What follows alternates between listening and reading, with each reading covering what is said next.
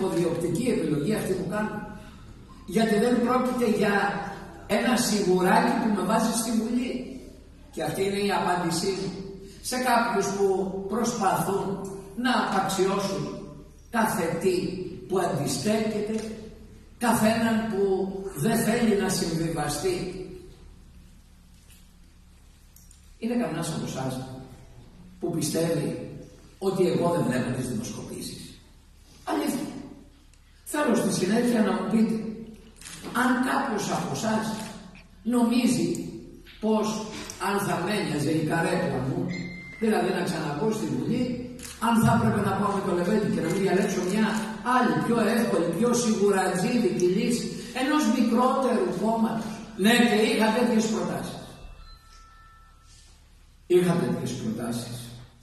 Αλλά, ακούστε,